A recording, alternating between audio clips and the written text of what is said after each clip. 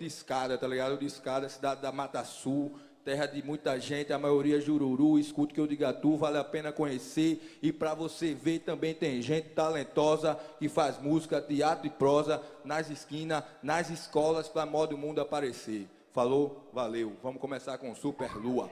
Oh, oh, oh,